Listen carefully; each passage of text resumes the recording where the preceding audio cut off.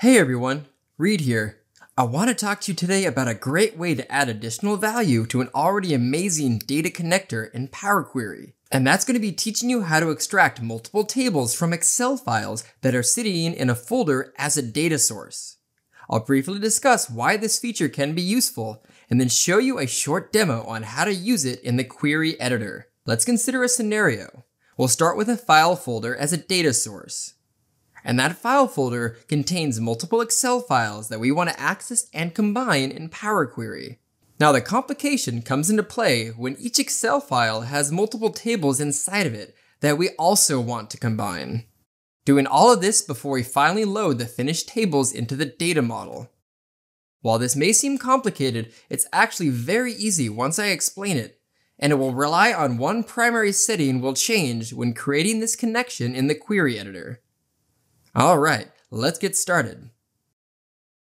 Alright, so I have a new Power BI desktop file. So the first thing I'm going to do is I'm going to come up here to my data sources under the home ribbon and go to get data.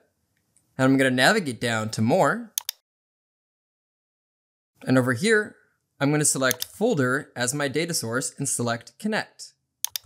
Now in this demo, I've created a folder with a few Excel files in it. So I'm going to go ahead and navigate there, browse, and I put that on my root C drive. C and data, select that, hit OK.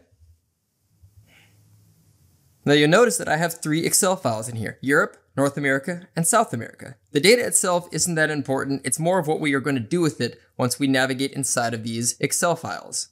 So I'm going to come down here and I'm going to select Combine and Edit. There we are. You'll notice I now have my Combine Files menu and it's asking me to select the object to be extracted from each file and we can see that there are two tables and two sheets. That's what these little icons stand for that are over here and those represent the objects in mine. Now what I want to do is I want to be able to, with a single data connection that I'm creating, I want to be able to export two different tables from all of these files. The budget table and the sales table separately. So you would think, and this is where the trick comes in, that I would select one of these two, but that's not the case. Instead, for this step, I want to select the folder itself up here, the sample file parameter, and we'll see why in just a minute. So I'm going to select OK. Now you notice that I have a bunch of things under my queries section, five different things total.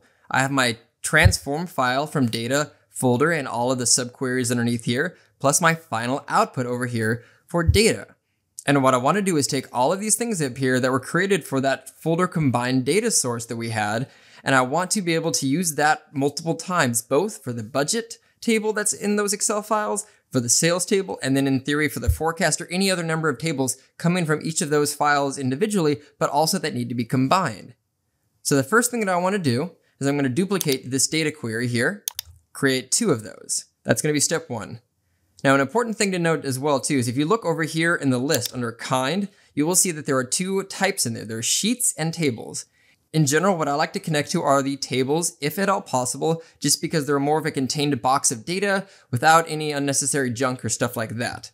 Now, what I can do, because that's a step that I'm going to do on both of these for my budget and my sales data, so I'm going to come up to the transform sample file from data up here. And what's going to happen is any step that I add here will be applied on every single file that's being combined from that folder. So if I was to come over here and right click on sheet and say does not equal, that gets rid of the sheets from here, leaving only the tables left as a selection. And I can even say filtered rows, rename that to filtered to removed sheets. There we are. And now I'm going to come back here to my data and you'll see that there's nothing left but the tables in here. So that's step one. I'm also going to rename data to sales. And what I'm going to do is I'm going to go ahead and delete that change type because I don't actually need that yet. The final table is not in here. It still has the table data, as you can see, for each one of these. Now, as you might guess from the name that I called this query, sales, that is the table that I want to extract from all of my files. The sales name right here. So I can actually right click that, select text filters equals, which adds a filtered step, keeps only the sales tables.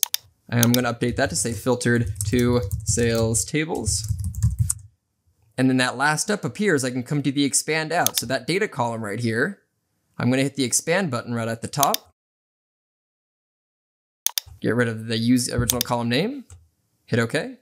And now I've expanded to my sales data only from every file, and that could be one, three, five, 50 files. I now have a single query pointing to my folder, getting that specific table out of all the files. And separately, I can do that for that other query I created over here. I'm gonna follow a similar process, delete the change type. I'm gonna filter instead on this one to budget, right click, text filter equals budget, rename that. Oop, give that a better name. And name that budget at the top. And then use that expand option right here and there we are.